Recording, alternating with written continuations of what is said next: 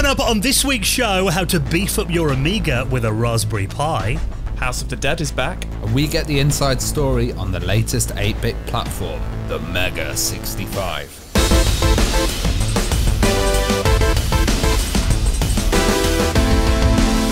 The Retro Hour podcast is brought to you each week with our incredible mates at Bitmap Books. Now, if you get a second, go onto their website, bitmapbooks.co.uk, and check out The Games That Weren't, their biggest and most ambitious book to date, detailing four decades and more than 80 games that never made it to market.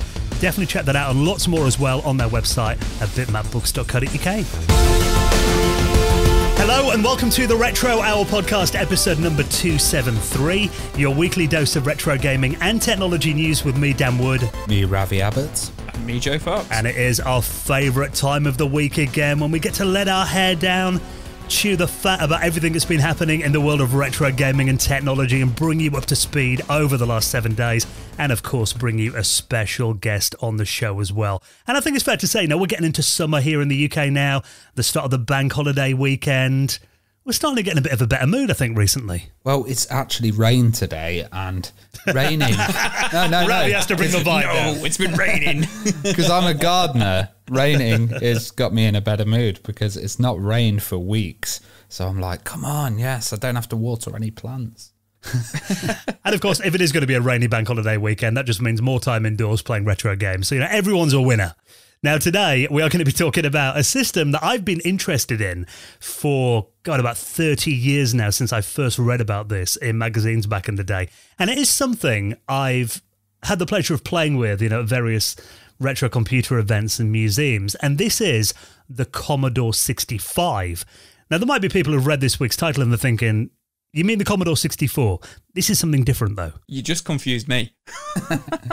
well, this is a, a, a recreation, well, a, a, realization of the yeah. um, Commodore 65 called the Mega 65. I need to say that again Mega 65. There you go. Going to put your movie trailer voice on for this. Yeah. Um, yeah, because Joe, this was, um, for people that are not familiar with it, this was going to be a machine that was a really souped up 8 bit computer that was going to be released around 1990, 1991.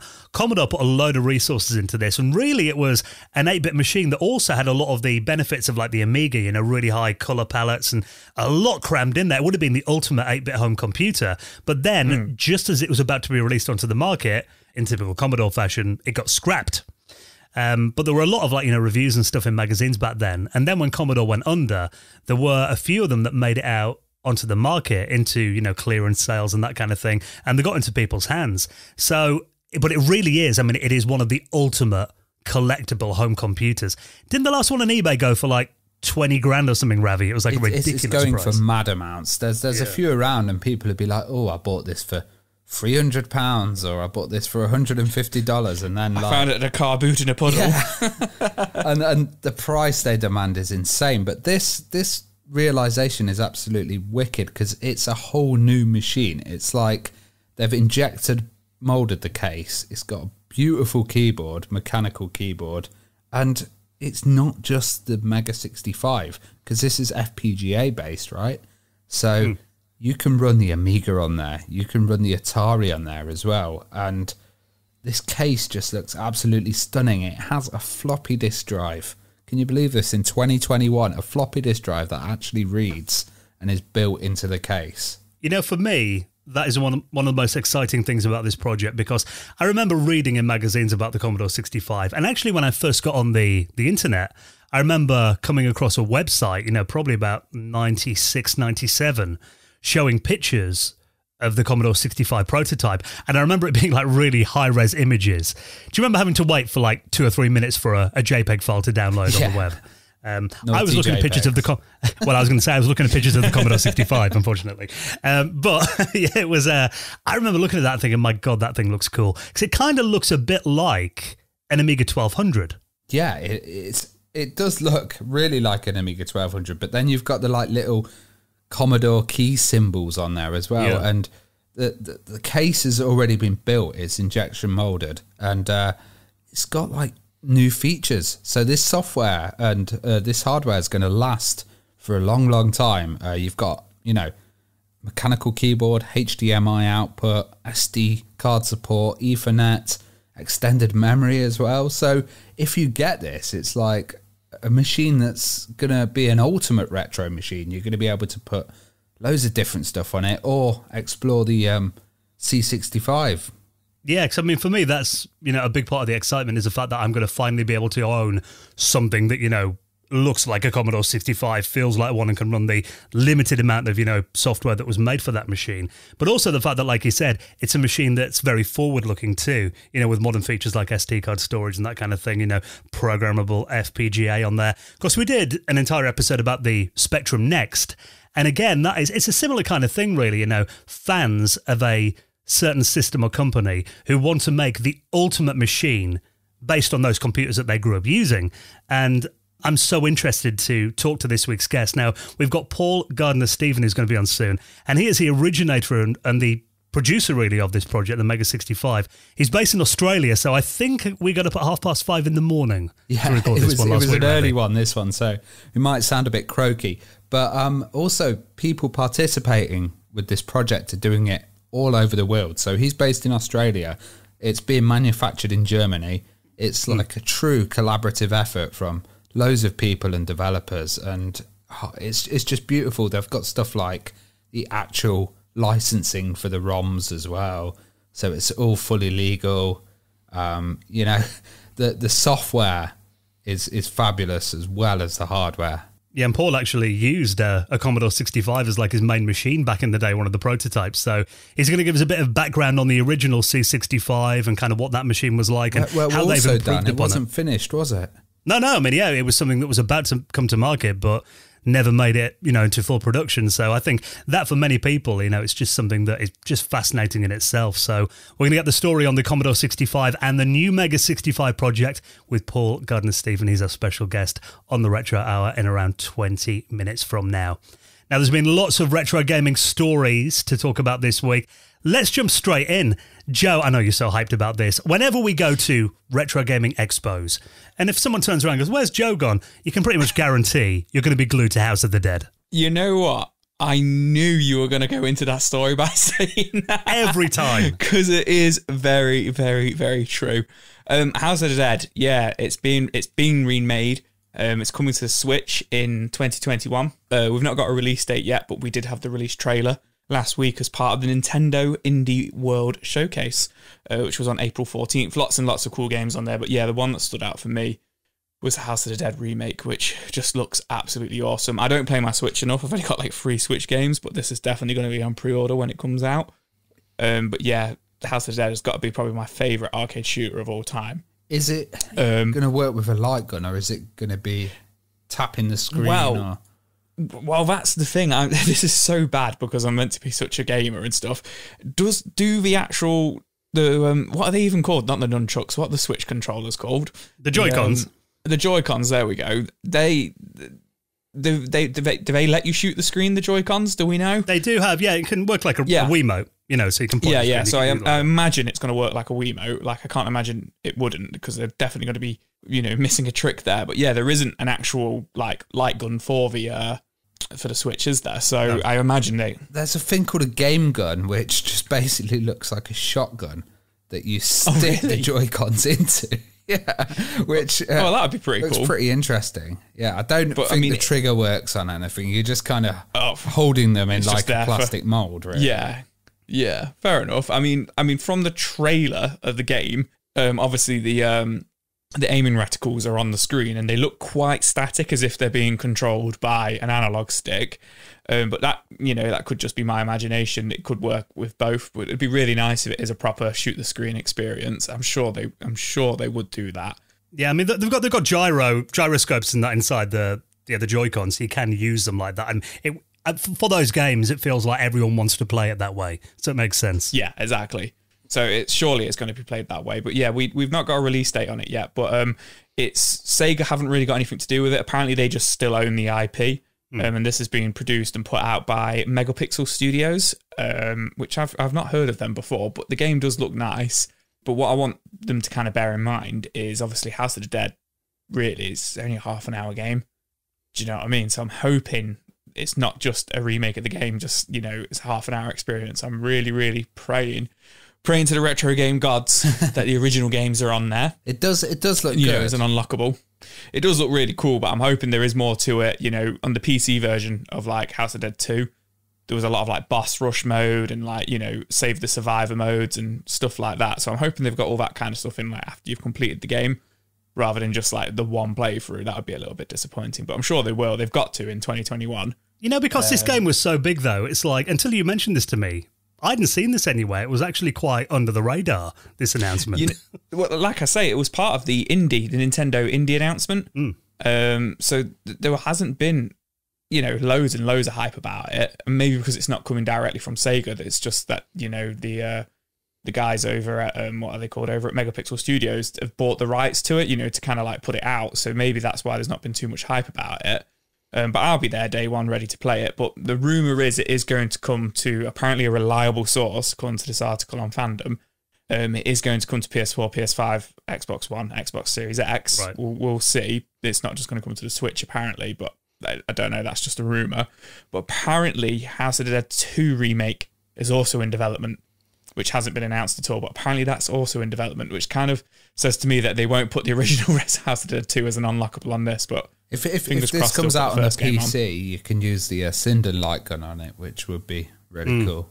So that would be really cool. Yeah. So, but yeah, more news on that as we find out. But yeah, I'm I'm really excited. in this trailer as well, I mean, it, the trailer looks really good. I mean, the graphics look so sharp, and Yeah. um, according to this article as well, the voices have been redone, but they're still in that Yeah. kind of cheesy, you know, B movie kind of style. Yeah, they are a bit wooden still. Nowhere near as wooden or as you know cheesy as the original, but they are. They've it's still got that charm to it. You know, the original kind of script seems to be in place as well, which is nice. But yeah, man, I love House of the Dead, so I pray that they actually do a good job of this. You know, it um, makes sense though as well, especially when you've got you know Joy Cons that you know have the the motion control in there. It, it kind of baffles me that we haven't had more you know kind of light gun games ported over to platforms like the Switch and even you know the Wii and stuff before it. I think you know. I mean, there was quite. I mean, you got the House of the Dead collection on Mm. the Wii, which was was just House of the Dead two and three. Um, so we've not actually had a version of House of the Dead one since the Sega Saturn version and the PC version in like Wow. 96, 97. Um, you know, so this is like 24 years in the making. But um, I think what it comes down to, what you were saying there, we've not seen a lot of like kind of shooters for the Switch and stuff. Is it's just I think they're just they're short games. Yeah, made for what I mean? They're made for arcades. I said it a minute ago. They're only half an hour long unless they put like all these kind of extras in and stuff. And I think it's difficult to kind of sit there and try and ask for forty pound unless you're me, like you know, kind of like the super fan. But you know, I can't see Ravi picking this up at full price. no, with with know- with uh, limited kind of coins, you know, it's Yeah. it's a longer game. But um, when you've got Yeah, how unlimited bad I play, I'll be on credits, for you about can two just hours, I rinse think, through yeah. it. Yeah, yeah. You just rinse through. I mean, that's the only reason I play at these uh, arcade expos we go to because I get infinite lives. but yeah, yeah, I can't, I can't see them. You know, I think it's just, it's just not feasible to kind of put these games out all the time and expect them to sell for lots and lots of money. Do you know what I mean? So, but you know, fingers crossed. There are some people in the comments here saying, you know, it'd be nice to see Time Crisis 5 and Virtua Cop hmm. 3 and games like that kind of ported over. I mean, they could put them up there for like, you know, 15 quid or something as digital only downloads. And Yeah, digital only download for fifteen pound. I'd be all over that, even if they were just to stick, you know, the original House of the Dead, the original Time Crisis, and stuff like that.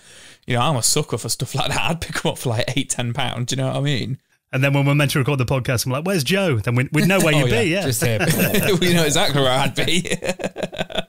Now, something that I've been uh, spending far too much time on over the weekend is uh, souping up my Amiga. Now, you know that I love to um, hack around with old systems and kind of push them to the limits. Usually, doing this is quite an expensive process. Now, we've talked before on the podcast about stuff like the uh, the Warp 1260 and the Vampire, and these are projects that you know really push these old Amiga computers from the 80s and early 90s into realms that were just unimaginable when you're a kid. You know, you can watch. I, I watched my YouTube videos on my Amiga 600 from 1992.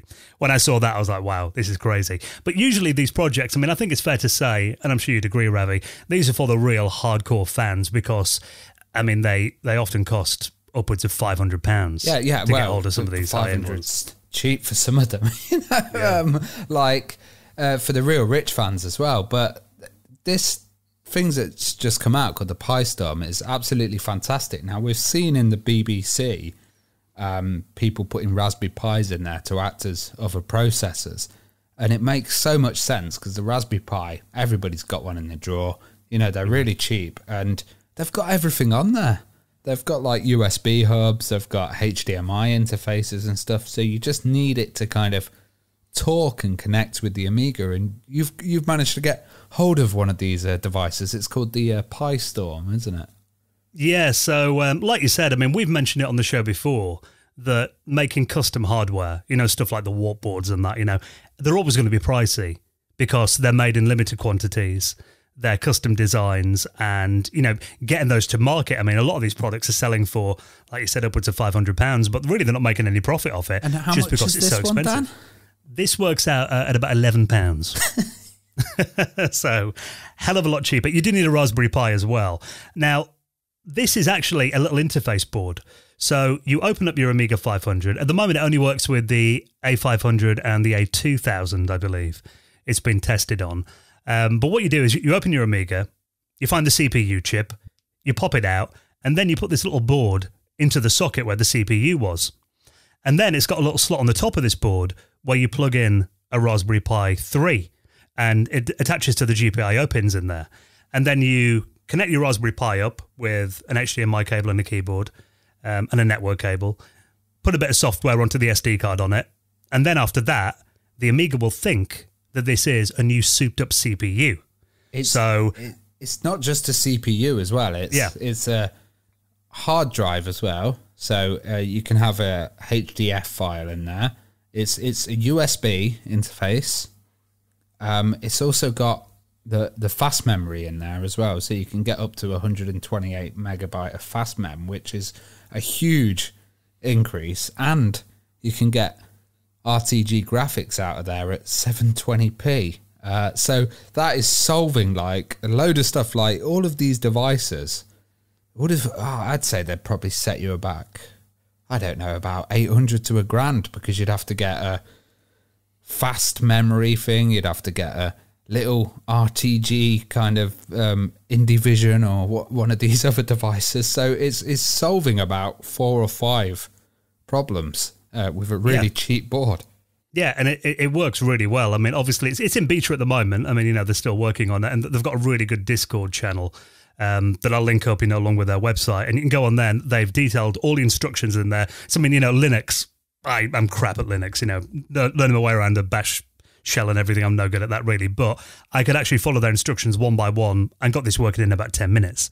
Now, you do need a Raspberry Pi 3A, which is one of the cut down ones with less USB ports on for the board to actually physically fit. Or I've got a 3B model Raspberry Pi, and you can um, get a little riser for the GPIO port, so it kind of sits on top of it, and that does work. It doesn't mean that you can't close your Amiga's case if you've got that, because it's a bit too tall with all the towers in there as well.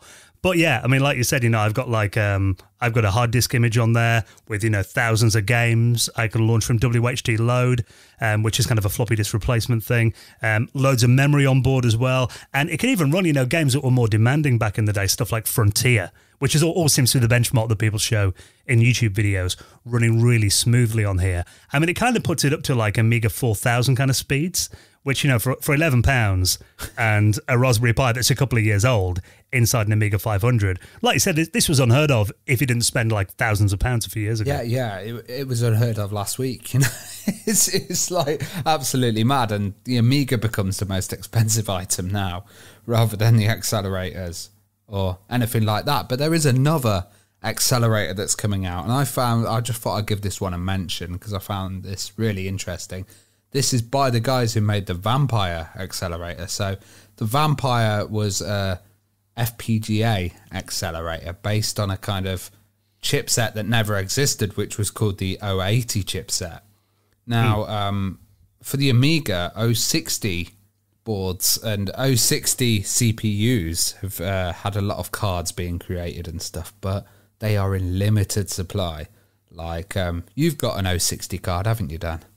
Yeah, but you can't get the chips for them, can you? You, you just really can't get them anywhere, Yeah. and they're so expensive. There's fake ones on eBay um, because people really want that chip, and you know, there's I, I've seen fake ones where people have actually scraped off the um, thing and reprinted it on the front, and then they have to get checked and stuff. It's an absolute nightmare. So Vampire guys are um, creating a new add-on which is called the Raptor, which is going to be the 080 processor, but for the AGA machines uh, with 128 meg of RAM, and uh, that will be an FPGA based OAE with a, a CPU. So it's a nice little solution for chips that are kind of going, and they say it will be a low cost, but um, we know with their other products they've been a very high cost, and I don't think they'll be able to get it down to 11 quid.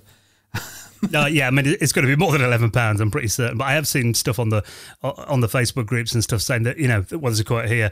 Not as cheap as an Amiga 12 and a RAM card, but a lot cheaper than the current Vampire cards. Um, so I mean, you know, I'm hoping it's going to be around the you know 100 to 200 pound kind of mark, which will make it affordable. I think and, for and it has people want to go down that path. The extra features of like the uh, AMMX, I think that's what it's called. Um, the extra instructions and stuff that you get with having the 080 processor on board, and you know you can flash it with your own ROM and uh, stuff like that. It's just it doesn't have HDMI. So interesting to see uh, what the price is on that one. Yeah, because I mean, these kind of things are very, you know, a lot of people are kind of like, well, why do you want to push these old machines to that kind of limits? So a lot of people just show them running like, you know, Doom or Quake or something, don't they? But I think a, a big part of it is not only the fact that it makes using stuff like WHD Load, where instead of running floppy disks, you can have like you know a thousand games on a menu. And I've been loading in things like the um, the talkie version of Beneath a Steel Sky, and some of these kind of later games that were more demanding that actually run really nicely using this solution. Well, so I think you know there are definite reasons for having it. I think there's one in development called Buffy the Vampire Slayer, yes. which uh, is so fast that um, I actually think uh, with Warp 3D, there's a thing called Wazp 3D, which is just uh, kind of hammers the CPU.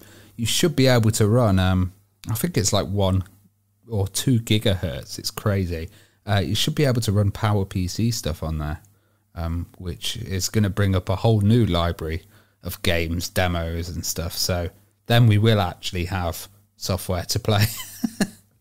it is cool that people are you know developing this stuff and making it more affordable so more people can try it out as well. So you know, massively into that. Anyway, let's let's wake Joe up now. Um, I was going to say I am here. I'm here but confused. Not, we didn't record that in a separate segment. I am here. I just don't know what they're on about. this next one, though, Joe, I'm sure it's going to be right up your alley. Now, this is a game for the Game Boy Color called Doc Cosmos that we're going to be getting this summer. Yeah, so this is coming from uh, um, being developed by a guy called Simon Jameson, um, or Jamson, I think it's Jameson. Um, looks like he's made this game completely on his own, coming out on the Game Boy Color, uh, set for release on the 19th of June 2021. So 10 weeks from now. Um, that's four weeks for the pre order. Um, so pre-orders have gone up at 40 quid, uh, which, you know, I think is quite reasonable for a new Game Boy Color game. Yeah. Something that's going to probably be quite collectible in a couple of years' time. And then six weeks for him to kind of, you know, produce the game and for them, you know, to make it and stuff like that. But it, you know, it it looks like a fun little game, and you know, the cartridge. I'm a sucker for like packaging and cartridges and stuff like that. It looks really nice. Comes and th- this really, game really features nice. a character called Doc who has a time travel device. That sounds a bit familiar yeah, I didn't think of that actually. I didn't even think of that at all. Um, I don't know what the story is behind the game or anything like that, but he looks more like he is a doc, but he looks like a disgruntled like army general from an eighties film in the artwork. Uh, but it has got that proper Game Boy kind of like artwork feel to it. You know, the kind of chibi style with the big head. Yeah, um, and it's got a nice, beautiful purple cartridge as well. But yeah, it, coming out with it's it's interesting because I keep seeing a lot of Game Boy Color games like every month. I think every like three or four weeks we talk about a new Game Boy Color game coming out. You know, when did the Game Boy Color come out? It was like 99 or something like that. Yeah, 98, I think. Yeah. So it, it is yeah. weird how there's, it's strange how you get that though. Suddenly you just get interested in a platform, don't you? Then all of a sudden everyone's doing stuff for it. I, am assuming yeah, absolutely. that this one works also on the Game Boy because there's this kind of green screen version. Apparently yeah. not. Apparently not. According to this, it says Doc Cosmos is compatible with the Game Boy Color only. They put in big letters here on the website. Oh, okay. Yeah, I, I was about to say that's really interesting. You should say that because they have. They've got the black and green, black and grey like screenshots for it to like as if it's playing in just Game Boy mode, mm. haven't they? Yeah, yeah, and and it looks like it's a bit demade or reduced um, f- for just yeah. the Game Boy, but we'll see. It, it does look really interesting, and I think you're right to have that packaged in in a cartridge and you know kind of with a manual stickers and Yeah. uh, it just it looks like a well presented game doesn't it and uh,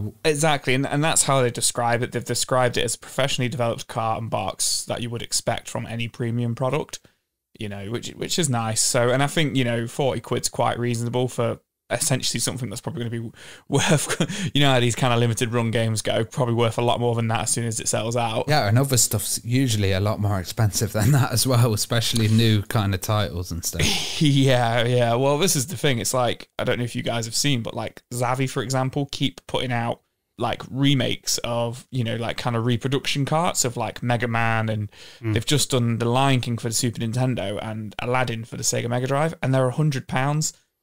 And I'm like, okay, they're, they're nice packaging. They come in like nice, colourful carts. Like the Lion King's got a golden cartridge, and the Aladdin for the Mega Drive's got like a see-through red cartridge. They're a hundred pounds.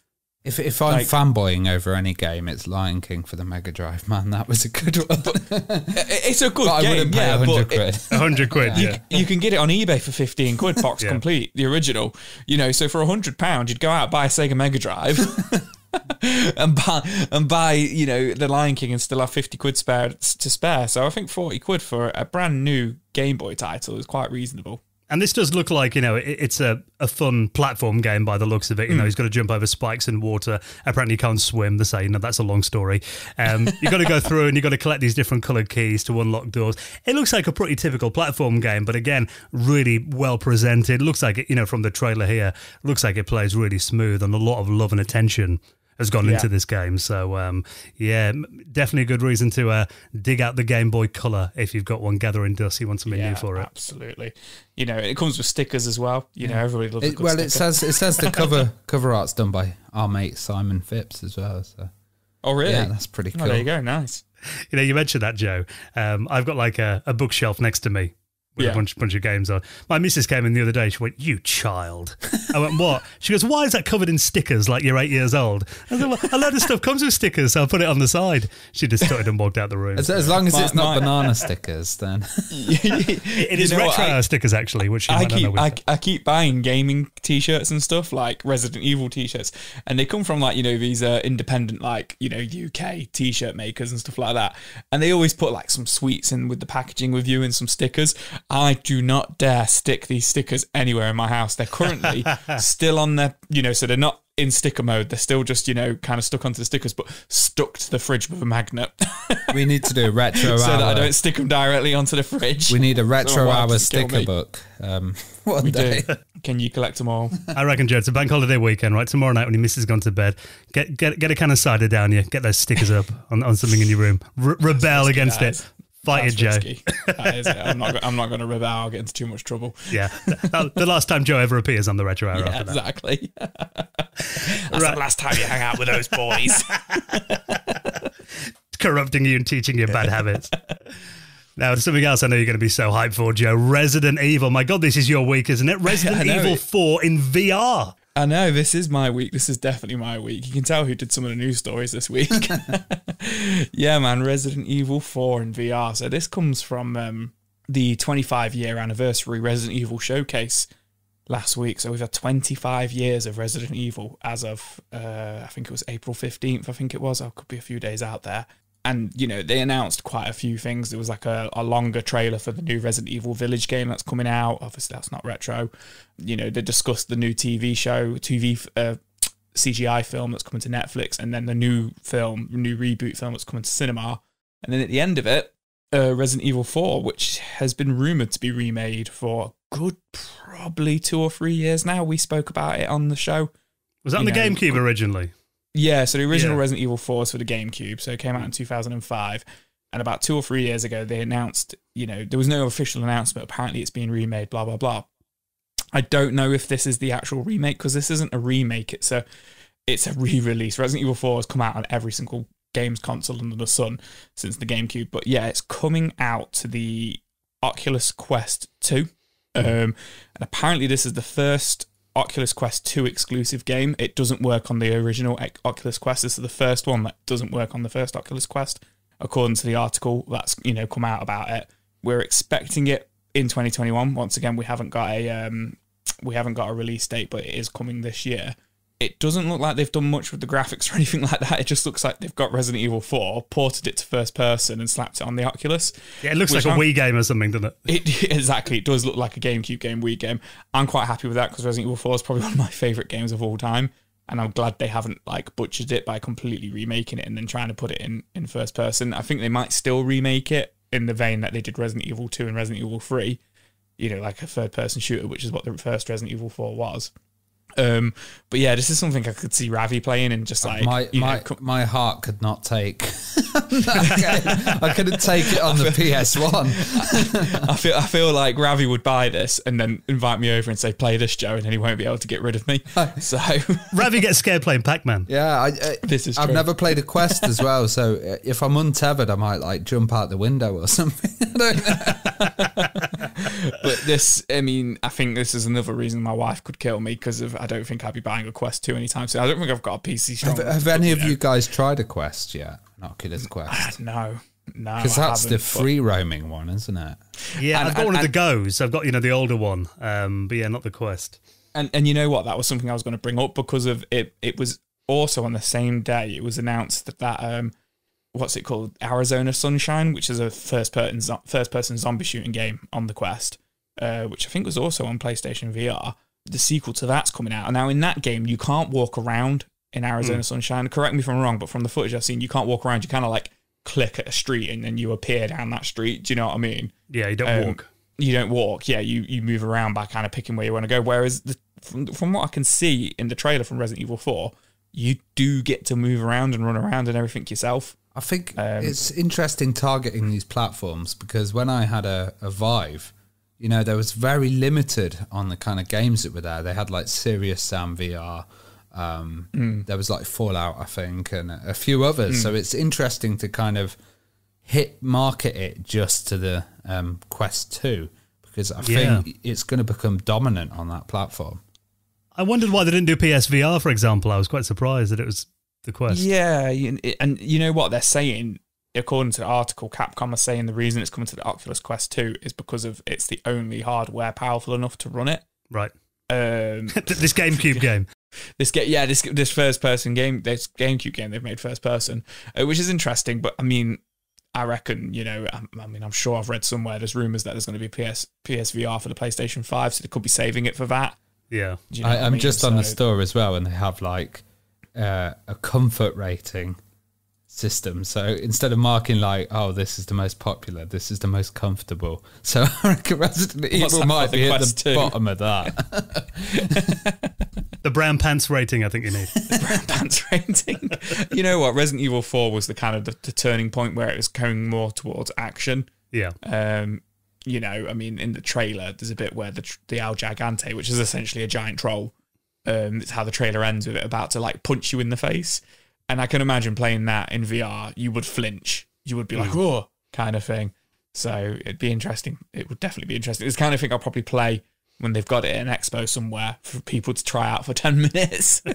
So I remember, it's you so know, expensive. there was a Resident Evil game, the one that came out on the 360. I remember playing that, and it was like because it was all set during the day, and it was the least Hmm. creepy version of Resident Evil I ever played. It just didn't work for me that one. But Yeah, Resident this Evil does. Five is is Yeah. like and Resident Evil Six are good games. They're really good games. They're really good action multiplayer games, but they're not horror games Hmm. by any means. But yeah, Resident Evil Four. If you want to get some brown pants and you've got an Oculus, an Oculus Quest Two, um, I think that could be the way to go. Five brown pants out of five. There you go. There we go. Joe's rating. Now, uh, before we get into our guest this week, talking about the Mega 65, um, the Evercade. Now, this is Evercade seems to be a title that we talk about so much recently. You know, one of the biggest names in retro gaming systems. Tell us about this then, the Evercade VS. Yeah, so this is a, a basically a home unit. So before we had the Evercade, which was portable, kind of like a Nintendo Switch, and uh, the unique thing about the Evercade was it, it didn't give you tons of games. It gave you a little selection of games, and you had them on a cart. You put them in, and they'd have stuff like you know Namco classics and uh, Atari classics, Codemasters, Team Seventeen, and stuff like that. Well, this is a home-based unit, and uh, it's called the VS uh, because you can put two cartridges uh, into the machine at once, um, letting you select any game from the cartridge and uh, through a menu. I'm not quite sure I understand how that actually works, but it looks like a nice machine. It's got um, 1080p output, a Wi-Fi connection as well, so you can um, get updates for the firmware, and um, it's USB controllers, so you can just put any in, and it's got four ports on it as well. A hundred hundred dollars as well, so not bad. Hundred dollars. When when are we expecting this? Is it is it November. pre-orders- Yeah, November. and pre-orders go on up on the end of May. So I've not played an Evercade. So I mean, it, it- it's interesting because I've not really been too interested in picking up an Evercade, but for some reason I'd be more interested in picking up one that I can't take about. It's, it's One that plugs into your TV, a proper And sit console. down and yeah, and sit down and, and play as a console. It, it- interesting, isn't it? That It's got that little But yeah. um, top loader as well, like an old VCR where you lift up the flap and then put, It put the two carts it- in. Of the VCR, the Nintendo Ravi, the original NES. Which was based on a VCR. I'll let you off. I'll let you off. I, I like the look of the controllers. It, it does have a very. It looks like if to me, it looks like if a Raspberry Pi. You know when people put Raspberry Pis in these little console boxes, and you know, and they're like the red and white. Yeah. It looks like as if one of them and a Nintendo had a baby. Hmm. That's what it looks like to me. It's very cute. Yeah, it is. It's cute. It is very cute. And you know, like Ravi says, you've got the four player ports on the front as well, which is cool. And you can use the actual Evercade as a as hmm. you know the original Evercade, the handheld one, as a controller as well. So oh, if that's you haven't got one spare, You know, I think about this. I mean, they're saying here there are you know collections on here already, like you know the Atari collection, which seems to be on all of these systems. Namco, Codemasters, Team Seventeen. There's about 260 games on there. For the price of this, ninety nine dollars. This makes sense to me, and it kind of seems to be doing what the the new Atari VCS was touting that it was going to do, and Tommy Tallarico's new Intellivision, which are all systems that cost a lot more than this, trying to get that kind of retro couch gaming experience back. And you know, we've we've talked about them before. The fact that we think, you know, for the price, we, we kind of struggle to realize who they're aiming at and who's going to buy it. But for this, you know, for ninety nine dollars, this kind of feels a bit more like an impulse kind of buy. Something you get just for a bit of fun because it's not that much money. You know, that this kind of feels more suited to that market. I think. I'm I'm much more likely to buy something like this than I am the Atari VCS. and Yeah. if if you're already yeah. invested in the Evercade world, so if you've already bought all those Yeah. carts for the um, handheld unit, I guess they're just going to work straight away on this, and uh, then you can get kind of more use out of them and have them on your TV and stuff. Yeah, I think it, it does make sense, and it, the fact that it's a trusted name, you know, people have got Evercades and they know that they run well, so that's got to give it a lot of kind of uh, credibility, I guess. So I was um, going to say a lot of the YouTubers I'm into have all said nice things Yeah. about the Evercade in the past. Just been cheap and not bought one. I'm the same as you though, Joe. I'm looking at this thinking, actually, I probably will, will buy this one. So, know, I play uh, my so- Switch. I play my Switch in dock mode all the time. Yeah, I, I I literally hardly ever play my Switch in like when I do play my Switch, I don't play it, you know, on the on the handheld mode. My wife does. She only ever plays it on the handheld mode, interestingly, but that's probably because I'm playing Xbox. You weren't the kid that hooked your Game Gear up to the TV with a link cable back in the day, were no, you, no, I wasn't, unfortunately. So, uh, yeah, definitely good to see uh, new developments from the Evercade team. We'll link that up and everything else we talked about in our show notes at theretrohour.com. Now, let's take a moment to give a massive thank you to our regular supporters of the Retro Hour podcast. Because, I mean, this show, we've been going five and a half years now.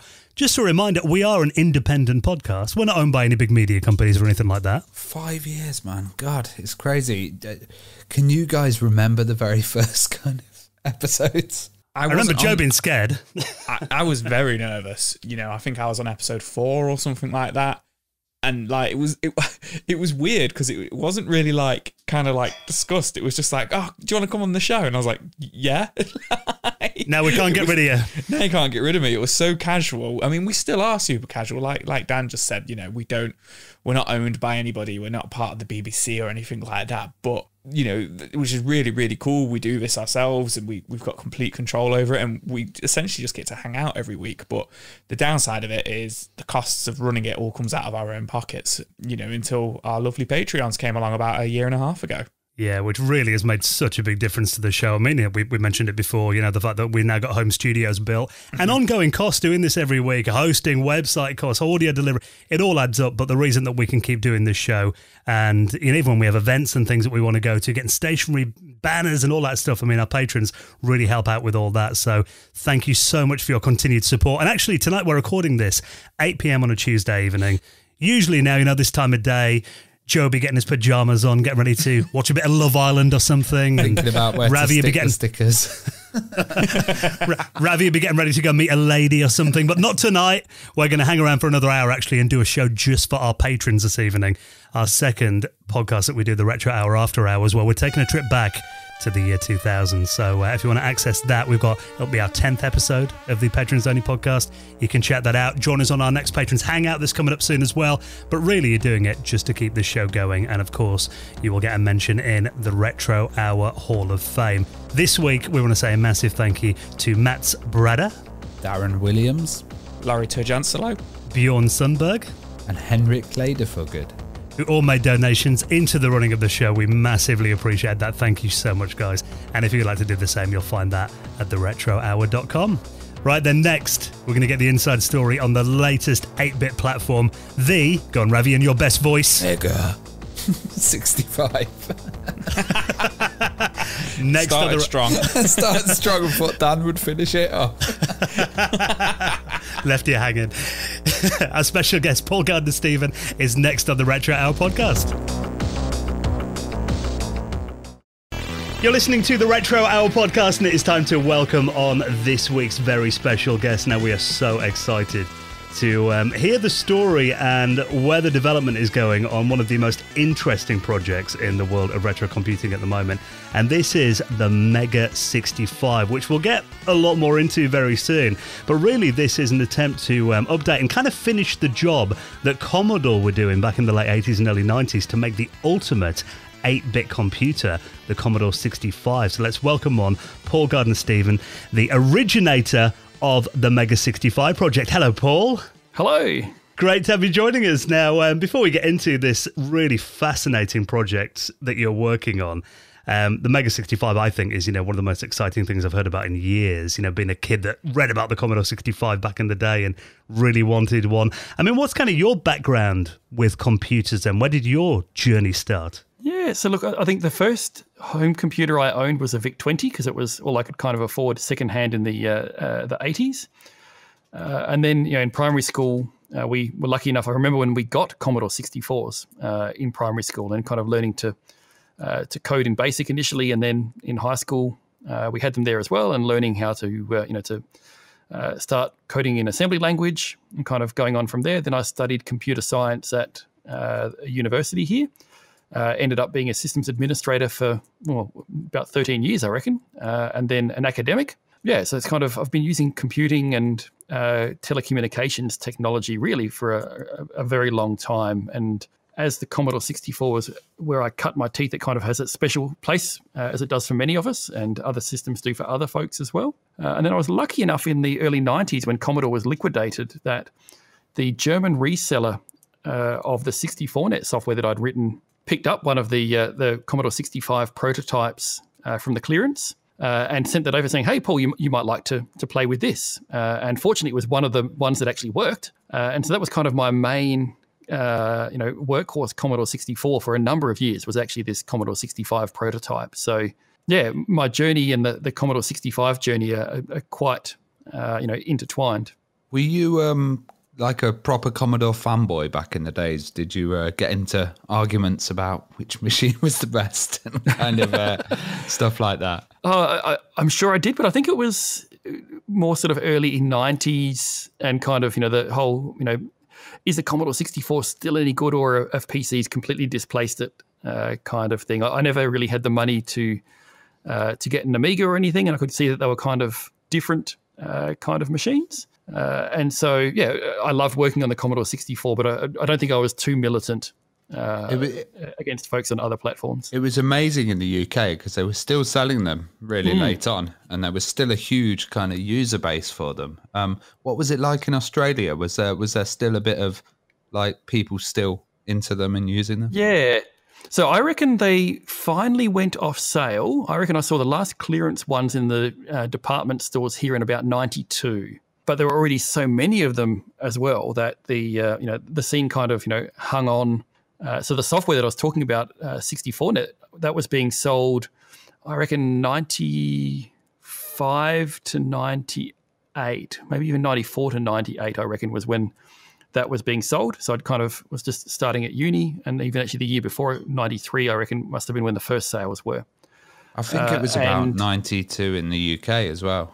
Um, 94, I Yeah. think this one. 94, wow. Yeah, 94 was the, when the, the last ones were made, but I think they were mostly focused on the Eastern Europe market. Um, And possibly, and I I can't remember the, the order of things, the uh, the Aldi C64s that were dirt cheap in Germany um, might have been at that uh, end time frame and sort of, you know, the, the Franken machines where they had whatever cases were laying around and whatever colored LEDs and whatever main boards and whatever chip combinations. So there were, you know, quite some, you know, strange machines that were turned out in those last days as they were really just looking to, you know, to uh, get a bit of cash from their stockpiles. I'm interested in the um, Commodore 64 networking kit that you mentioned as well. What's kind of the background with that then? So that was, again, uh, my poverty growing up meant that I could never afford a, a CMD 2000 or one of the, the hard drives or anything. Uh, but I could already program on the PC. Uh, and so I remember thinking, well, I've got these PCs. There's parallel port, there's a user port. This is moderately electrically compatible. Uh, so I set about making my own software for doing bulk storage on PCs to be able to, you know, load games and things uh, much faster. So that took a year or two to uh, to turn into what became 64net. The bulk of the market actually was in Germany. Uh, so we had uh, performance peripherals in Germany were kind of the reseller for that, and I reckon they sold was several hundred copies of that. It kind of funded me my way through university uh, in terms of having pocket money for different things, uh, and basically just used any cheap, boring old uh, PC like an XT or something, use the internal hard drive, a program that ran under DOS, and then a little wedge program on the C64 side, uh, and then this kind of custom cable uh, that you, made up to go between the parallel port and the uh, uh, the user port. And I think the real key to success actually in Germany was that the distributor got Falk Rehwagen to make a GEOS driver for it. Uh, and in a, a funny twist of history, Falk Rehwagen is actually working on the GEOS support for the Mega 65 uh, quite independently. Uh, I remember when the, the guys at Mega kind of came and said, Hey, we, we've got this great guy who can do GEOS programming. Uh, and he's going to help us out. I said, "Oh, that's great. Uh, So who is it?" And like, "Oh, it's Falk Rehwagen." I was like, "Yeah, yeah, yeah, I know Falk." Uh, so it's, it's been a, a little bit funny of sort of you know of drawing of things back together uh, with the machine. It's crazy that that led you to get your hands on one of the Commodore 65 prototypes back in the day. Then, I mean, what? So you got your hands on this machine. I mean, did you kind of know how special it was then? What- were you kind of thinking when you got hold of one? No, so I- I think like for a lot of people in the, the mid '90s, you kind of go like, "Oh, yeah, it's kind of cool," but it's it's a cooler version of uh, you know an, an out of date machine. It would be like you know uh, someone turning up with a a really swanky horse and cart, right? Uh, that had you know some nice new features, or someone you know a, a railway turning up with one of the uh, you know the, the last steam engines with all the streamlining and superchargers and things that they actually put in the uh, the last steam engines, and go, well, that's kind of really cool as a steam engine or a horse and cart, uh, but really we're interested in motor vehicles, and so it was cool and fun, and I I loved using it, and I loved the advantages it actually had over the um, uh, the original C64, uh, but it wasn't really viewed as that special at the time. How much more powerful was it than the C64? Yeah, so it was about four times faster. So the clock speed was three and a half times, uh, but a number of the instructions were faster. So the two cycle opcodes in with one byte on the 6502, almost all of those are one cycle uh, on the uh, the C65's uh, 4510 processor. So that really gave it uh, an extra speed boost for tight loops and things. They would tend to run quite a bit uh, faster. So uh, I remember early on patching a version of Turbo Assembler to do the assembly at three and a half megahertz, uh, and it was was really lovely to use. Uh, and of course, you had the double the RAM, uh, but perhaps otherwise the most you know one of the nice things was actually having the RGB monitor, so you could actually read red text on a blue background without it just looking like you know rhubarb mush. So it was just it was a, bunch of little things that added together to make a um, uh, a really you know pleasurable eight bit machine to use. It, it, it was interesting as well because Commodore were kind of researching the um, C65, and you know, a lot of people kind of said it was a bit of a dead end with the other machines coming out, and uh, were a bit kind of confused about why they were actually investing time and money into it. Yeah, and I, I think that that whole story is a bit of a, a sad one. And I think to this day, there are people who worked at Commodore who would rather forget the C65 because it was something that they kind of worked on in the design space when really what they wanted to be working on was the AAA Amiga. Uh, but management didn't want to fund something that would be that expensive. It was like, well, just do something that will help, you know, uh, get us a bit more life out of the 8-bit line because that will be really cheap to do. And they, they No. never really bridged the connection between the C64 and the Amiga as well. There was there was that kind of weird Yeah. jump and gap, wasn't there? Mm, and I think that the C65 was really designed to address some of that. And certainly, I mean, you had people who'd worked on the AGA Amiga design having input into the C65. And so some aspects of the C65 are actually AGA equivalent. So you had 8 bit planes uh, on this. You know, uh, funny eight-bit machine, as many as on the the Amiga 1200. So you could do better pictures than you could on an Amiga 500 but the whether it was marketing insisting on not having a machine that could compete with the Amiga or not, I'm not sure. But the bitplane design on the C65, unfortunately, was very, very limiting. Uh, so you couldn't do the kind of the uh, the hardware scrolling of a large bitplane uh, that the Amiga could do because the bitplanes were fixed at eight kilobyte uh, locations, and so uh, combined with the low clock speed and only 128k of RAM, you couldn't really double buffer. You were really stuck with just stationary uh, kind of images if you wanted to use the bit planes. And so I think uh, that the late date of its uh, design and also the uh, in true Commodore style, the extremely slow DOS code to use the internal disk drive.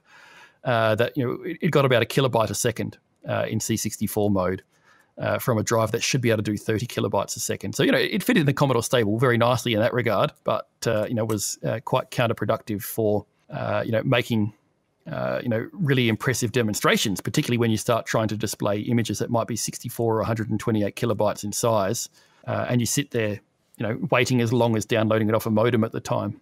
Uh, so yeah, it was.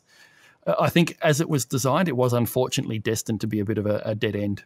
The fact that you were using a C65 prototype as like your main Commodore 64 for a couple of years, and you know I've seen a couple of them in the wild, and you know at, at computer museums and that kind of thing. They actually look quite finished units. I mean, how close did it come to being ready for the the shop shelves? Um, I believe they were really close. So the hardware, with exception of a couple of little tweaks on the cases that needed to be fixed, because the uh, the cursor keys were, and return key were nor- yeah, notorious for jamming. So I actually had to file my case to make sure that those keys could move uh, reasonably freely. Otherwise, the hardware with the revision five circuit boards were, I believe, effectively finished, and it really was just down to uh, you know uh, software tweaks to finish the um, uh, the basic ROM uh, which, in fairness, was a long way from finished. Uh, you know, the, the you know, the bulk of the hard work was there. It was a bit like the Death Star in Return of the Jedi, right? The uh, the, the big guns were there, but there were enough uh, other problems uh, that it really, you know, if you opened the wrong door, you got sucked out into space, so to speak. Uh, and so we've actually got folks at the moment working on fixing all of those problems in the uh, uh, the basic 10 ROM to make it actually pleasant and usable. And essentially, it's making it a really nice machine to use in that sense.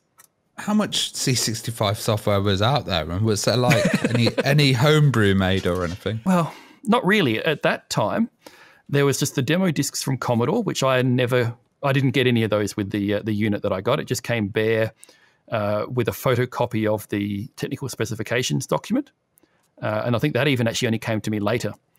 Uh, so it really was just a case of trying to figure out how to use the machine without having uh, any real uh, documentary support in there. I remember sort of you know going into the assembly language monitor and putting in every byte, uh, every different value, and then seeing what the disassembler would show those instructions to be, and trying to figure out what uh, the function of those was, and getting a bunch of them wrong.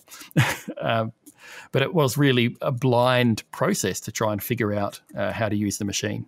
And how did collectors get hold of them then? Because you mentioned it never got released. I mean, how did they get into people's hands? Yeah, so uh, the main way was I think through uh, Grapevine buying up the kit that was in the warehouses of Commodore when Commodore went bankrupt, uh, and then they flogged them off. I think for hundred dollars US at the time. Uh, they were really cheap, uh, and I think the you know my German distributor paid not more than two hundred Deutsch mark it was at the time still, and yeah, and, and just uh, you know sent it over because it was a, a, a quite cheap item at the time, kind of like selling off a, a bucket of unicorn horns without realizing it.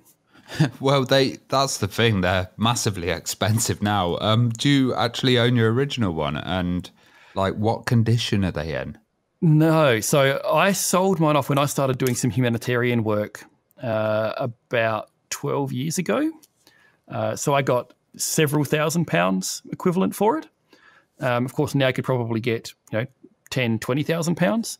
And really, the, the, Mega 65 came out of me missing what was just a, a really fun 8 bit machine to use and wanting to, you know, to recreate that at some point. And I'd also had an idea for a long time about an accelerator uh, board for the Commodore 64 using a trick that I'd worked out back in the mid 90s. So in fact, the Mega 65 originally was just going to be an accelerator board, uh, but then sort of morphed into being its own uh, device. And once the Museum of Electronic Games and Art were on board, uh, and we started really planning to make the complete finished hardware like the original.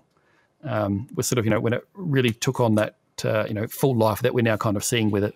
Well, let's get into the Mega 65 then, because I mean, like I mentioned in the intro, I mean, it's something I've been keeping an eye on for a, a few years now, and I remember reading first about the Commodore 65, you know, when it was rumored in magazines and thinking, that looks really cool.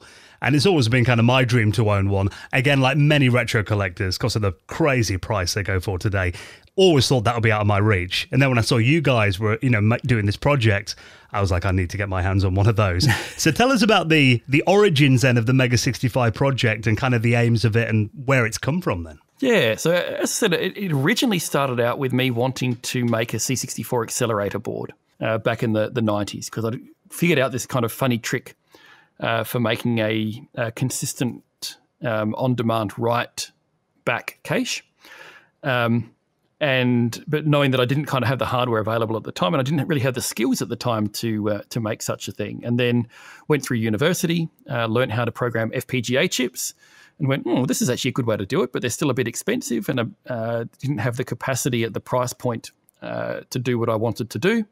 So I just kind of bided my time until about late 2013 when I went, no, you know what? I actually think that they're now good enough that, uh, you know, I could you know, work on that accelerator. So I started kind of doing that and then realized it was actually just as easy to make the whole machine in the FPGA board. Uh, and then, you know, you could have VGA output and all those other kind of uh, nice things. And you know, and and the goal quickly you know shifted back to trying to recreate the C65 because no one else had kind of recreated one at that point uh, in FPGA. And yeah, it was really just because it was fun to do uh, in my own time. Uh, and it was, I reckon, 2015 when I had it booting up to basic and kind of, you know, uh, demonstrable. Uh, that was when Mega uh, got interested and thought, hey, this would actually be a great thing to uh, do as their next kind of uh, you know uh, computer archaeology reconstruction uh, piece uh, as a, a non-profit group, and yeah, and with the, the great folks from there. So on my own, it would just be an FPGA board that you could stick a, a bitstream on and run. but with Mega, uh, you know, they went about finding partners who could actually make a custom motherboard for us, make a full custom mechanical keyboard with nice double shot front printed keycaps, uh, and uh, you know, organized doing a, a full uh, custom case design that looks just like the original, but with the correct port uh, cutouts and things, and get that injection molded. And so something that began very small and with modest goals has now basically turned into really the the realization and creation and completion of the C65 uh, but with uh, you know some improvements to make the Mega 65 spec uh, with that as well.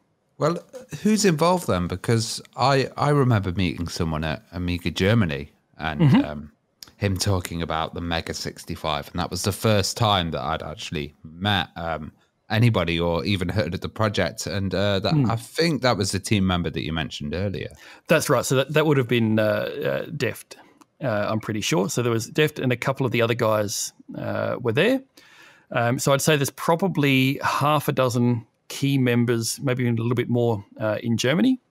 Uh, a lot of the activity is kind of based around Frankfurt am Main, uh, so in Hessen, just because it's where they kind of uh, lived. And I also ended up having a, a, sabbatical with my work there in Darmstadt, just south of Frankfurt. So we had a there was a, a great patch for about four months where we were actually all co-located uh, and you know could hack away on weekends and uh, and evenings together, which was.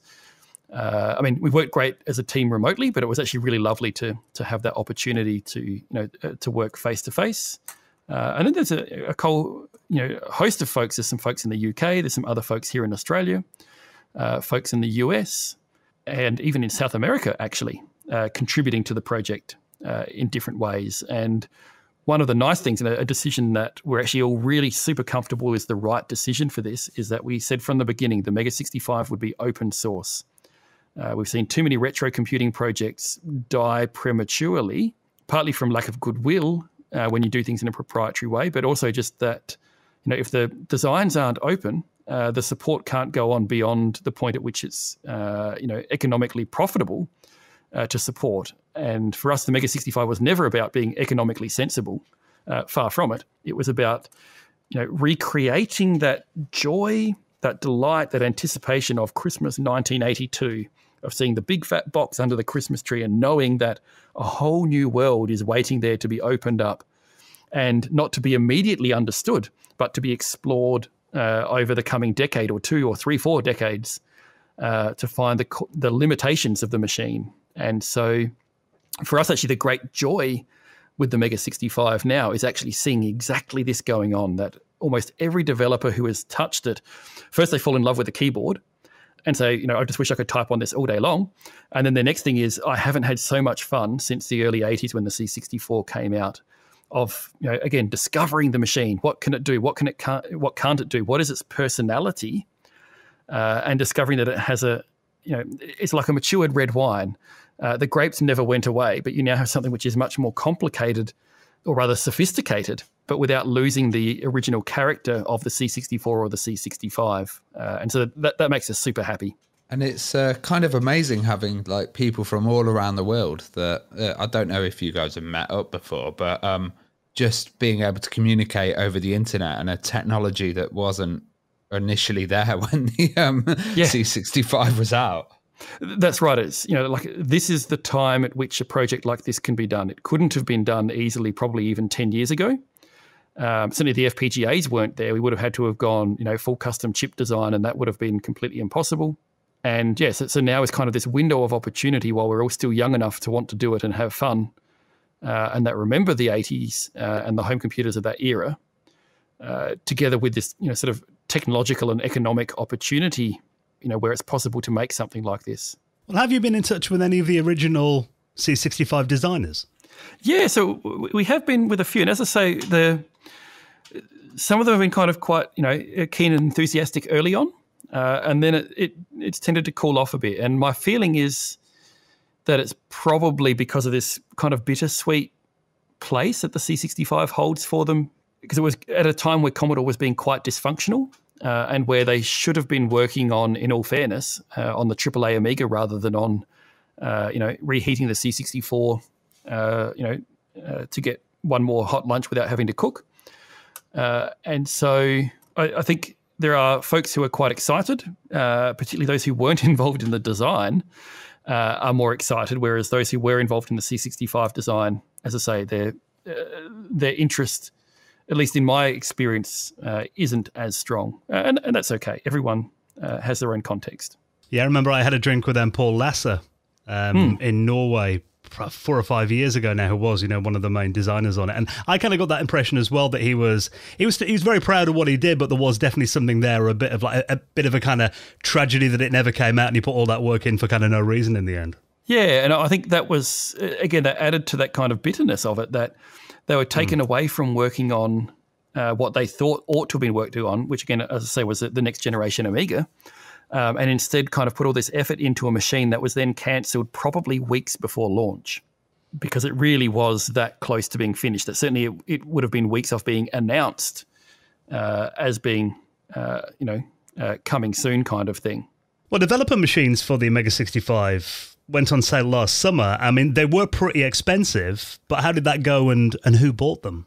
Yeah, so that was a, a, whole interesting kind of thing that we were quite open saying that we needed to price those machines to give us the cash flow as a uh, you know a non-profit volunteer exercise to be able to do the remainder of the work. So we, we were very transparent with the community about that. I'm not sure that everyone that saw the information got that messaging, which is a, a little unfortunate. I'm not sure how we could have done it better, but I understand it didn't work perfectly. Um, so some people did kind of grizzle, like, you know, because it was a thousand euros effectively per machine. um, which is a, a, substantial sum. But I think in the first 30 minutes, 60 of the 100 had been ordered, uh, and Trenz' uh, Trenz Electronics, who were doing the selling for us, uh, their website was crashed by C64 Afacondos trying to order Mega nice. 65s, um, which was uh, kind of delightful. Uh, and then I think all 100 had been sold out within three days. Uh, and I think it was, you know, within three hours, it was 80 of them. Uh, 24 hours, it was 90. And then it was, you know, the, those last 10 uh, only took another two days to go. So that for us was actually really exciting to see that uh, the demand was there. And what's been really interesting as well is that about a third of the people who bought them are active developers. Uh, and I think this is one of the things that's a little different between the Mega 65 and some of the other retro computing projects is that it is a very developer heavy community. And so there are great things coming out of, you know, it doesn't need a huge community to, to make interesting software and things. Uh, so there's already, you know, there's, uh, you know, Amiga mod music file players available for the, the Mega 65. Uh, we've got uh, Shallan 50K, uh, who does his, uh, you know, the, the uh, C64 coding streaming. So he's developing for it now. Has already released uh, one uh, remake of one of his games and is working on uh, another. And did a fantastic Turrican technology demo that looks at least as good as the Amiga, if not better. And so it's a delight for us seeing that it's the personality of the machine. Uh, is very much one of like the C64 in the early 80s of what can people do with it uh, rather than just simply use it. Well, it's awesome to hear that it kind of you know, sold so quickly and crashed the site. It's like a, a pop yeah. star or something, you know, having a having a big concert and everybody going mad. Um, how close is it then to the original C65?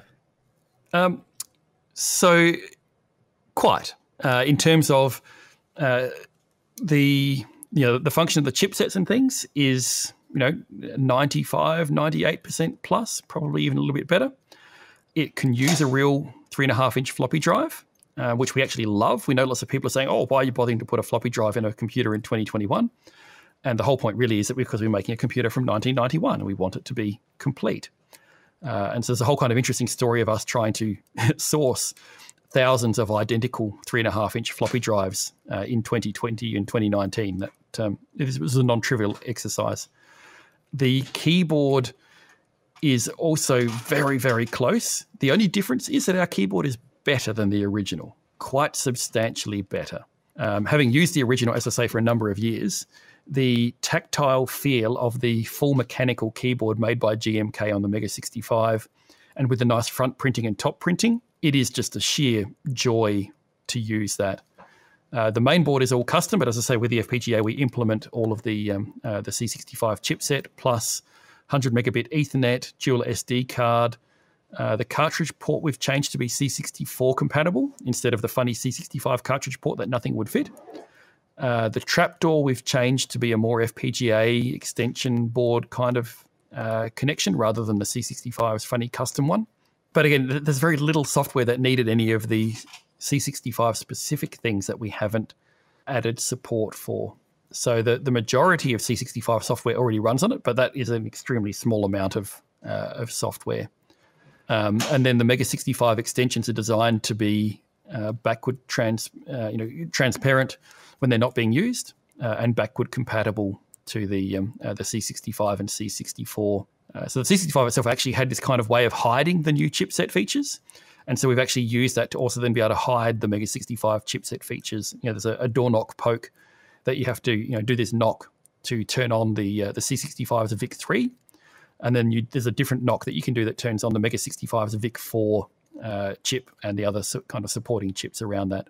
I do love the look of the machine as well. I mean, you touched on the keyboard there as well, but you're also kind of cloning the the Commodore 65 case as well. Tell us yeah. a bit about that process.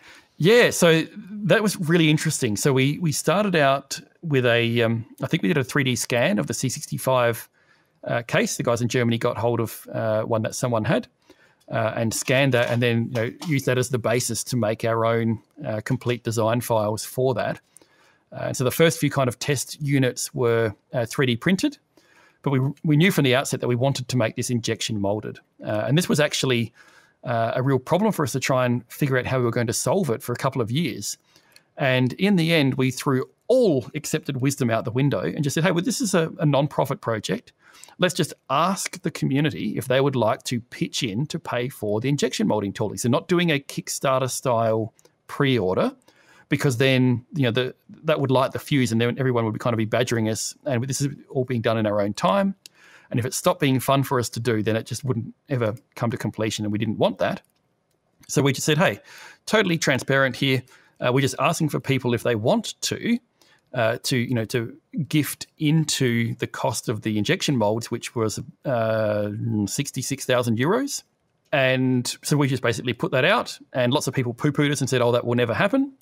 Um, but in 101 days, which is 65 in hexadecimal, so very auspicious for us, um, we had that full 66,000 uh, euros gifted to the project. And so then we were able to go to Hintsteiner uh, in Austria and get them to start making the injection molding tooling for the case. Um, Trenz were also already making the custom mainboards. GMK were already making the custom keyboards. And so we've ended up with all of these custom parts that are beautiful and beautiful to use uh, and long lasting, all being made, uh, you know, in the German speaking continental Europe uh, world. And the result is glorious. And when COVID hit in 2020, we didn't have any supply chain problems uh, because we weren't relying on uh, you know low cost manufacturer in China or anything because we knew we didn't ever have the volume for it anyway. Uh, and so our labor of love kind of approach has meant that we now have this machine that is just uh, glorious to use. So the I've got one of the first injection molded prototypes on my desk at home, um, and that is now my main 8-bit machine as well as obviously development for the Mega 65. And it's so easy to forget that it's not the original machine. It just, as I say, except for the ways in which it is better, um, it's just like using the original, and that was really you know, what we were aiming to uh, uh, to achieve. Well, talking of uh, original things, um, did it need the original C65 Kickstart ROMs or uh, just ROMs? Uh, yeah, so the, yes, um, so yes, we need the original ROMs. Um, and that also took quite a while for us to get a, um, a license arranged, just because you know the, the, people involved in the process are all quite busy, and, and we we understand that. Uh, and so we actually, as a backup plan, and also just because we think it should be done and it fits in the whole open source ethos of the Mega 65, is we've actually started an open ROMs project for the C64 and C65. Uh, so Feral Child is doing the bulk of the development on that, and we've taken a very um, copyright defensive approach to make sure that no infringement can occur. Um, to create ROMs that are uh, you know, compatible with the original C64 ROMs for as much software as possible, and C65 ROMs as well. And complementary to that, we have actually since negotiated a license to include the C65 ROM uh, with the finished uh, devices that we'll actually be able to ship them uh, with them. So you'd be able to turn it on, and it will just boot up to uh, uh, to Basic 10. And then we've got BitShifter and a couple of the other folks who are putting a, a tremendous amount of work into understanding uh, the ROMs, bug fixing them. They recreated their own assembler compatible with Commodore's original assembler for the funny way the source code was written. And you know the their improved uh, Mega 65 Basic 10 ROMs uh, are really lovely. Uh, they're much much faster, even aside from the Mega 65's 40 megahertz CPU. That just megahertz for megahertz, they're much faster than the original uh, C65 ROM by using you know better algorithms for things, uh, much more optimized code. Uh, you know, missing kind of features, commands that weren't implemented. All of these things are, you know, are being worked on, uh, and there's a, a, new release of that pretty much every week on the Discord server. But already, it's actually now. I would say that the you know the patched ROMs are usable in, a productive way, whereas the Commodore ones, it was always a bit like uh, you know wandering around in a minefield with a blind, you know, with a, a mask on. Uh, that you know it was quite easy for your program to get uh, you know blown up and corrupted uh, if you weren't paying very careful attention. Yeah, I remember trying one at the um, Centre for Computing History in Cambridge, and just you know, you try doing things that you read about, and it would be like unimplemented error or something. Yeah, yeah, that's right. Yeah, unimplemented command error was uh, one of the. It, yeah. yeah. Well, you mentioned about the uh, three and a half inch floppy drive that's in there. Um, hmm. Have you got modern storage methods on board as well? Yeah, so there's dual SD card. Uh, so there's a full size SD card in the trapdoor slot and then there's a micro SD slot on the uh, the back of the machine. Uh, so they take SDHC cards, so you can put a 32 gig or a 64 gig uh, SD card in there, uh, and it supports a fat file system. Uh, and there's a built-in freeze cartridge in the Mega 65 hardware design as well uh, that uses a special partition on that. Uh, so you can you know you can have a couple of thousand frozen uh, games or, or, software titles uh, on there, so that's quite easy to access. And then we have the 100 megabit Ethernet connector uh, on the back that, unlike the old RRNet on the C64, that was this kind of 16-bit chip, uh, you know, with its arm twisted to behave in a slightly 8-bit manner uh, and couldn't do interrupts and things, and so it was uh, very poor performance. Uh, the Mega 65's 100 megabit Ethernet controller, you know, we've got example software that does ping times under 0.3 of a millisecond. Uh, and you know you can saturate the 100 megabit link uh, with this nice interrupt driven uh, memory mapped frame buffers. It's it's really lovely to use in comparison to the um, uh, the RRNet uh, Ethernet. Being a FPGA, can you do something awful like uh, put an Atari core on there? Uh, yeah, so we, don't have an Atari um, 400 or 800 core on there yet. Um, we do have an Alpha Spectrum core uh, that can even run some of the enhanced newer Spectrum kind of uh, things. Uh, we've got a Game Boy core as well in alpha stage, um, and there's an Amiga core in the workings as well, which I think is going to be really exciting for again for the kind of the, the Commodore uh, folks to have a machine that is uh, you know able to be both the eight and the 16 bit machine, as you say, kind of you know be that bridge, uh, the the you know the Sasquatch, the missing link uh, between the uh, uh, the two machines, and you know let people have one machine on their desk, which I think would be really nice as well. So what what's the community reaction been like around this machine? And um, do you think like the success of other machines like the Spectrum Next have inspired confidence in the project? Um, it's been really interesting because we've purposely not taken a commercial or rushed kind of approach. So some people kind of like, oh, you've been working on this since you know 2014 or whatever, and that's it's like seven years, and it's true. But I think people have seen that we've gone from strength to strength. That we now have a machine. We've sold hundred machines uh, and that the you know, the final machines will you know we already have the injection molding cases and tooling and everything uh, set up. That once people see what we've created and the people who you know kind of have that desire to to relive that delight of the 1980s home computer experience, almost universally uh, are really enthusiastic. Uh, you know, you always get a few people grumbling around the edges. And when we've done strange things like the way that we crowdfunded the um, uh, the injection molding tooling, uh, there were people who were kind of grumbling around the edges. But it's kind of clear, even most of the ones who were grumbling around the edges would just dearly love to have a machine. Um, they're just frustrated that they can't have one today, and that maybe it won't be quite as cheap as they might like, uh, because you know this thing has to be uh, more expensive than a, a, a, the C64, for example, that was you know, it's a great product made to be very affordable, whereas we've gone for something which is a, a premium product that you know you'll be able to use for the next 30 or 40 years when your original C64 chips have all you know uh, given up their magic smoke. And definitely a lot cheaper than trying to get an original c65 uh, yes absolutely and certainly again as we say sort of in, in 20 years time when the chips in those have all gone put uh, you know it is going to be uh, the only kind of option uh, and so you know and that we wanted that authentic feeling and that atmosphere. So you know we have the CRT emulation filter on the uh, the HDMI compatible output, so that it still feels like a CRT. We have the real floppy drive that grinds and chugs even when you access the SD card, so that you really get that feeling that you just are at an 8-bit machine uh, because you are. And one of those sort of little purity things as well in the Mega 65, there is no CPU other than the 8-bit CPU uh, in the Mega 65. There's no ARM CPU doing something in the background. The, you know, the SD card, everything is all controlled by the uh, the 6502 compatible CPU in the Mega 65. So there's nothing that gets in the way of that, uh, you know, pure 8-bit joy.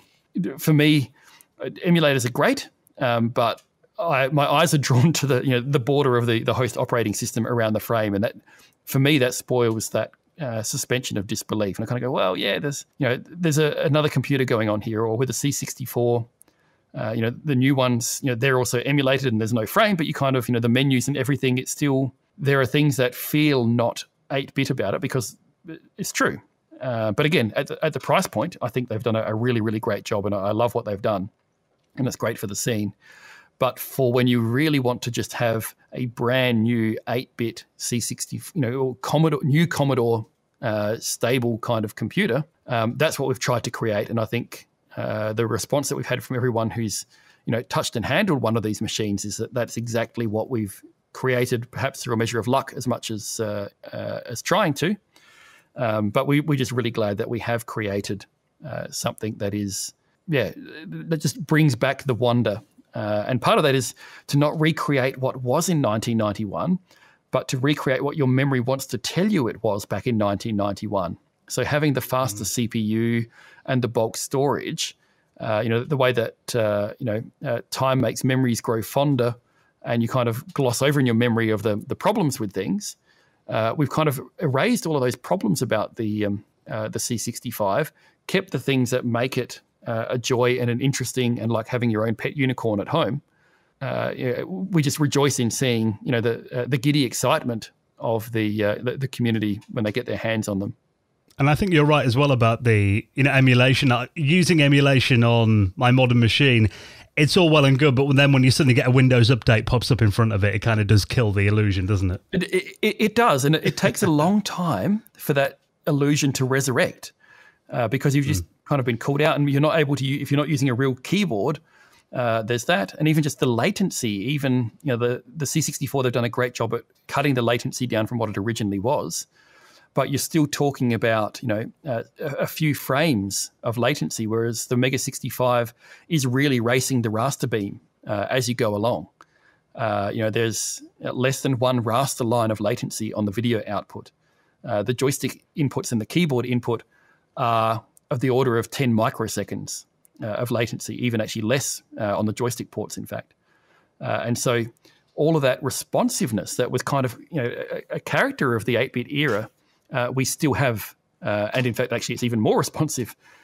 Where are you seeing the most interest then? Is it from people that want to develop software, or is it you know guys like me that just always wanted a Commodore 65 on their desk? Um, so look, I think the you always have more non-developer interest than developer interest just because of you know demographic statistics. Uh, but I think, as I say, with the dev kits, and okay, we, we're talking at a higher price point than what the final machine will cost. That it was about one third developers and two thirds uh, of folks who self-identified as not being developers.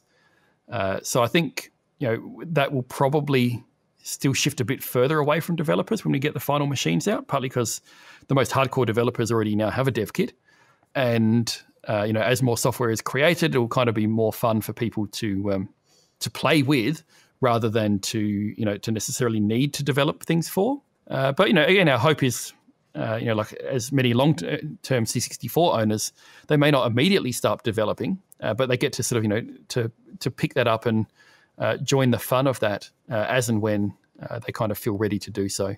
So, what are the kind of most impressive, maddest things you've seen the uh, Mega 65 do so far? Look, as I say, I, I think Shallan's um, technology demo for Turrican was fantastic. Uh, so that's that's one of my favorites. Uh, another one is one that I wrote myself, which is I wanted to do a, a Wolfenstein 3D type engine. Uh, so we have a, a kind of a uh, an engine demo that we just call Mega Maze. So it's just a, a hedge maze that you run around through. Um, but it's full screen 320 by 200 at about 10 frames a second, and we haven't really optimized it that heavily yet. But it, it's you know it works really nice uh, with that, um, what else is there? So the, the, the mod file player is great uh, because it, it, just sounds as good as an Amiga, if not a little bit better, because we've actually got 16-bit uh, audio channels rather than 8-bit. We've got image viewers that will view 256 color, you know, 640 by 400 uh, images. And actually, it's uh, partly as a joke and partly uh, as a bit of a, a, proof of concept. We also made slide presentation software like PowerPoint for the Mega 65 that actually lets you edit the slides uh, text only but with proportional fonts and different size fonts and uh, colors and things uh, and blinking text, of course. It's 8 bit era. And so I've actually used that for a number of conference presentations about the Mega 65 and about simple, secure computing. Uh, and so it's always a, a, great crowd pleaser when people kind of see you giving a presentation from on the 8-bit machine and using a, a huge clunky joystick as the uh, the slide clicker and stuff. So I think they're some of my favorites. Oh, and um, Mu3P's um, Solitaire for the Mega 65 just looks a delight uh, and is you know really responsive uh, and everything to use. And so that's at 640 by 400, 256 color. It looks as good as the Windows Solitaire version that everyone kind of played on the on Windows 95, um, but is pure 8-bit, and it's like 28 kilobytes or something nuts uh, because it's 8-bit. So yeah, there's already kind of this variety of fun stuff, and just in the last week, we've now got a um, a prototype Telnet BBS client, so that you can connect to some of the uh, the C64 BBSs that are out there and that's already heaps of fun to use as well. And again, you just get that whole end to end eight bit experience with that. So yeah, there's, there's, lots of fun stuff already, and, and more is coming out uh, every month. Have you got networking built in as well?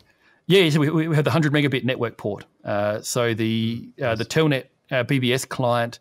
Uh, we've got a, a, full TCP/IP stack in there, so it does the DHCP discovery, uh, gets its IP address, and then you can choose which BBS you want to connect to, and makes the connection uh, and then has that uh, you know the uh, the terminal program uh, kind of interface. And again, that's a bit of as a as a proof of concept for being able to do much more sophisticated things with the network uh, down the track. Well, I mean, you've got these incredible capabilities in there. It does feel a, a bit like a waste of the machine's potential. But if someone wanted to boot, you know, International Karate, the C64 yep. version, up on the Mega 65, is it compatible with 64 software? So IK Plus, I can't remember whether it is at the moment. So lots of things work. In fact, lots of cartridges even work already, but not all of them. But again, on the C65, not everything was compatible either. But the the hardware doesn't need any changes for that to improve. That's just a case of working on the VHDL code for the FPGA as we go along. And so we're kind of doing that along with other sort of critical path things to get the um, uh, the machine out. So I'm not expecting that we'll have 100% compatibility with every game title um, on day one but it will be quite good already, better than the C65 ever had, which had some quite major compatibility problems, in fact, um, and that it will get better over time. And again, being open source, um, we don't necessarily have to be the ones working on those compatibility improvements. We, we, will, but the community has the confidence that they can actually, you know, patch things and improve things as they go along uh, as well. Well, what's the documentation going to be like? Yeah, so the, the documentation we've already got is about a 900 page manual um, that we've done very much in the same typesetting style as the original C64 programmer's reference guide. Because uh, again, to me, part of that joy of discovery of an 8 bit machine is to sit there with this huge ring bound book uh, and flip through and go, like, oh, I wonder what I could do with that register or that feature, or, you know, let's see how I can, you know, play sound in BASIC uh, and those sorts of things. So, there's already a huge section documenting all the commands in BASIC 10 and sort of some you know intro programming to BASIC stuff in there. There's a beautiful machine setup thing with nice diagrams about where to plug everything. Uh, the chipset reference is something like 300 pages uh, already as well. Um, and again, there's a, a, bunch of examples on how to do different things uh, uh with the, the, video controller, with the sound, uh, with the DMA controller. Yeah, and, and that's continuing to grow. And again, there's a bunch of folks in the community all contribute uh, to that because that's all open source as well. And so we hope to actually produce printed versions of that that people can buy uh, and have those volumes on their desk. Probably it will end up being five volumes of about 300 pages each, is my gut feeling, uh, because ring binding, ring binding a, a, thousand plus page book is um, uh, logistically difficult, shall we say. You know, having been involved in this project, Paul, for you know six years, you've been working on this.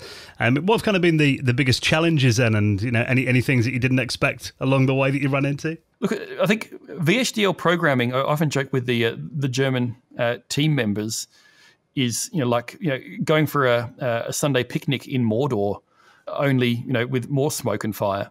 Uh, in that you know there, there are things that seem they should be really easy and turn out to be really hard, and yet other things that you think are going to be showstoppers sometimes turn out to be really quick and easy to fix. Uh, and so there's kind of that aspect to it. And there is an element of cat herding where you're trying to get all of these things together to work stably and reliably together. Uh, and that's, you know, if you like the systems integration and testing piece can be quite hard work. But I think what's been really great is that wherever we've had a great challenge with these things, uh, you know, the community has kind of, you know, produced people who've volunteered to help with things uh, and to break those kind of, uh, you know, uh, lock points, particularly at times when, you know, myself or others as volunteers haven't had as much time to be able to, to put into the machine. And so, uh, you know, it has continued to, uh, you know, to progress in leaps and bounds. And, you know, I think we're still hoping that either, well, I think we're still aiming that by the end of this year, the pre orders will be open for the final machine. And you know, again, because of COVID, we actually hope to have the machines out this year. That I think is looking uncertain at the moment. But hopefully next year, uh, people will actually have machines, you know, very much uh, before Christmas, um, maybe even before summer. Uh, we'll see, but we, we, don't want to make any promises uh, because you know there are so many factors outside of our control, and as a, a bunch of volunteers, um, you know, it's just that uh, it's hard to predict uh, what the forward path, you know, will be. Well, your day job is uh, being a computer science lecturer. Um, have you had hmm. any interest from the students? Yeah, so students uh, love it, and so we've actually we've run a, a, few projects on it where students have worked on different aspects of it, and that includes uh, working on the PCB design for a handheld version of the Mega 65 that would double as a mobile phone. And this is sort of one of my favorite little pet side projects of that to make uh, an 8-bit smartphone uh, that actually can be much more secure and privacy respecting, um, and just a darn lot of fun. You know, the students I think enjoy kind of the retro aspect of it as well as that it's an architecture that they can understand uh, so I also use it to teach the operating systems course. So instead of showing them how to do a, you know, uh, to move from user space to kernel space on an x86, where you've got hundreds of lines of assembly language, um, it's two instructions on the Mega 65 to uh, transition into the hypervisor, the 8-bit hypervisor that the Mega 65 uh, implements. Well, Paul, before we spoke, I already desperately wanted a Mega 65. You've just increased my appetite for it over the last hour or so. Um, I know you mentioned that, you know, hopefully by this time next year, you know, the pre-orders are going to be available. Any idea what kind of the final cost roughly is going to be? Yes, yeah, so, so this is always the, the, the million dollar question, right? Uh, you know, how much will it cost and when will it be available? And our answers mm. to both of those are as cheap as possible and as soon as possible, recognizing that we're a bunch of volunteers working on this stuff. So, you know, the, the price will be somewhere, uh, you know, sorry, it will be substantially less than the thousand euros. Um, exactly how low we can get it is, as I say, open to uh, you know factors beyond our control at the moment to get every last price pinned down. And as I say, the you know the, the final hardware we're hoping to have available for order by the end of this year. But people who are keen to get involved in the meantime uh, can actually buy off the shelf commercial FPGA development boards that are compatible with the Mega 65 that it was originally developed on, in fact, and get involved that way. And if you don't want to have to spend on them, um, if you go to um, Shallan 50K on Twitch, where he, he does the streams on uh, on uh, C64 and Game Boy programming, he's got a monthly giveaway where they're giving away at least one of these FPGA boards every month for this entire year. So a number of people have already got themselves free Mega 65 compatible hardware to start getting involved uh, and you know uh, being part of the journey. Because again, it's the journey of exploring the machine, of seeing what can be done, of being the people, you know, a bit like with NASA today with Mars, right? Uh, they've just, you know, mm. flown a helicopter, uh, an aircraft uh, powered flight on another world for the first time. And so, you know, you can be the, the first person to figure out how to, to do new effects on the Mega 65 or to even just make uh, relatively simple things that people haven't implemented for the Mega 65 yet. So there's a very much a, you know, there's a, that joy of trailblazing uh, that can be experienced today. So, you know, folks who have an interest and whether that's in testing software or whether it's in you know developing software or contributing to documentation or hardware design, any of those things. Uh, you know, my strong advice as someone who's really enjoyed working on the Mega 65 for the past you know six or seven years is you know don't put off getting involved in the fun because it really is. Uh, the, I think the, the most fun project that I've been involved in. Uh, and it's clear that there are many, many more years of, uh, of great fun for everyone that wants to get involved uh, to you know to enjoy. Well, Paul, I'll obviously put a link to um, the website and your communities in our show notes as well. Everyone should go and check it out and um, follow your progress as well. Like I said, I think you know for me this is you know one of the most exciting projects in retro computing that I've heard of in years, and you know I'm so hyped to get my hands on one when I when I finally can. Um, thank you so much for coming on and uh, sharing some of your stories, and the best of luck with it. Thank you very much, and thanks for having me.